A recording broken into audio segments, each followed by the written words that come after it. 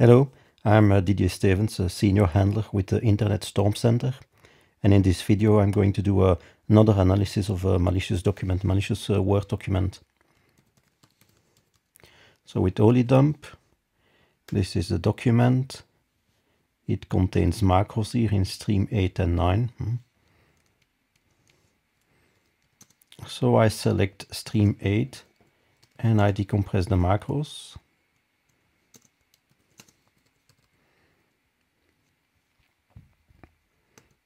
Okay, and here we see a shell and here string concatenation. And so that is the command. Also here uh, with a, a C uh, variable. And that's about it. So uh, all those variables here, and they are probably not defined here, but in the other stream, stream 9. So let's take a look. And indeed, here we can see uh, a lot of concatenation of uh, variables and, uh, and strings that look meaningless. Hmm. But, but if we take a closer look here, we can see set.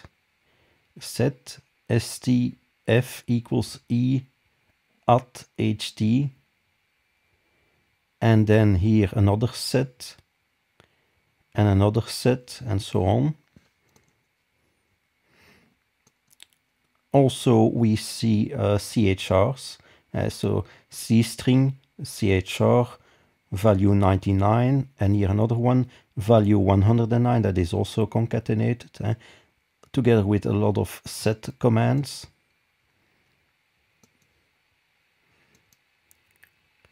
Let's go to the bottom.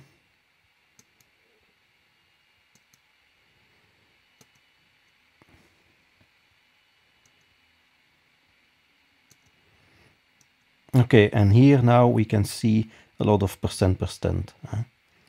So when you see this, uh, this is very likely uh, a DOSfuscation uh, string. So a string that is uh, interpreted by the command line interpreter cmd.exe, and but who uses DOS command variables that are concatenated to, to form a command. Mm. It's a part of research that Daniel uh, Bohannon did uh, about uh, DOSfuscation. And this is probably here DOS concatenation. So what I'm going to do, I'm going to extract all the strings in this stream 9 with my tool re-search. Eh? So I'm going to use the regular expression to find any string that is not empty and uh, with uh, delim delimited by double quotes. Okay, and here you can see uh, we have a lot of them. And here, if you take a closer look, you can see ampersand, ampersand, C-A-L-L. So that's actually a call to the content of this variable. And here you can see uh, a lot of other strings. Let's scroll up. And here you can see a set of that variable. Hmm? So this is uh, indeed very likely uh, a DOSfuscated uh, string. So what I'm going to do is try to join uh, these together and, and see what we end up with. Now before I do that, before uh, I concatenate it, I want to look uh, at the strings slightly different. I want also to see empty strings because as we saw we in the dump we have also a couple of empty strings and I want the unquoted string so I want to remove the, the double quotes that delimit uh, the string like this. So that's uh, the regular expression I have for that and here now I have uh, the strings that I want. And now I want to concatenate this. And that I'm going to do with my set command. It's a simple tool that works on sets. Uh, and what we are going to do here is all the variables, uh, all the strings that are considered as a set, we are going to concatenate them, join them together, and the separator is just uh, an empty string, like this. and here uh, now you can see uh, something that looks indeed like uh, DOSfuscated uh, DOS command uh, using concatenation, because you see a lot of set commands here, and then here a set of a variable with a long uh, string of instantiated variables and then a call to that uh, instantiated variable. And if you take a close look here, you can see net.web and also here, yeah, p colon slash slash like uh, HTTP. Hmm. So yeah, that's probably a, a, script here that is uh. Now uh, I wrote a, a, small tool to help me uh, do this, but what you actually want to do is look up all the definitions of set. Eh?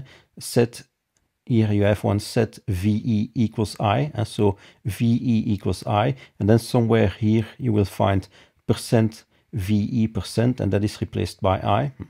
So for that uh, I wrote a small tool, instantiation, and it's uh, a generic tool. It's not specific for DOSfuscation because the assignment and instantiation uh, expressions, hmm, they, they can be defined by a regular expression. Eh?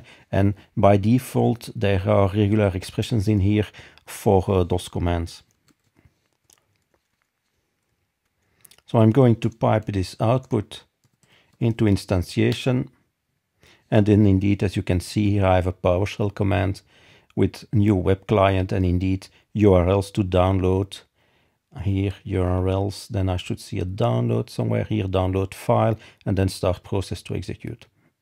Now, if you take a close look here, you will see that uh, there are some problems here.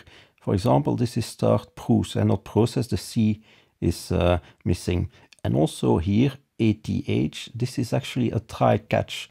So uh, the letter C um, is missing. And remember, that we had uh, CHR commands in there, uh, 99 and 109. So let's take a look with Python. CHR 99, that's a lowercase letter c, and CHR 109, that's a lowercase letter m. So those are actually uh, some of the letters we are missing here. Like here you should see co.uk, we don't see that. Hmm. So that's uh, missing. So it's probably that we have to uh, include these. And I'm going to use a simple trick for that. It's the following.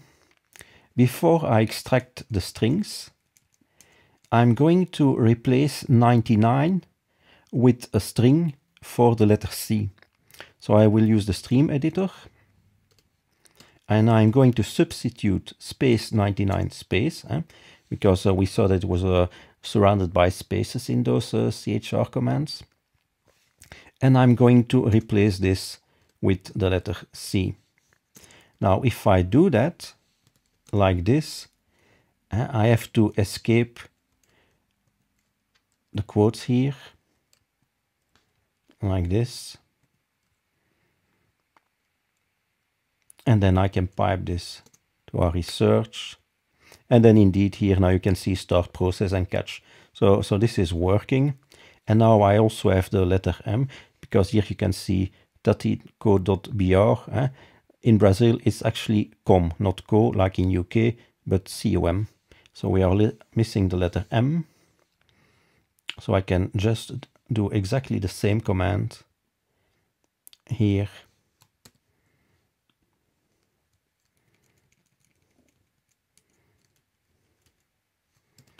like this, but for the letter M. So lowercase letter M, 109. Like this. and here, uh, now I can see Taticom. Um, so actually, it's actually Tatim, you see. So it's important to, to find that letter M because uh, the, the URL here is, uh, the domain name is different. Hmm. So that is uh, how you can use uh, this uh, tool. I, I, will set it up on my beta GitHub repository because um, I don't know what I'm going to do with this tool, what direction it is uh, going to go into, uh, but uh, that's why it will end up in my uh, beta GitHub repository.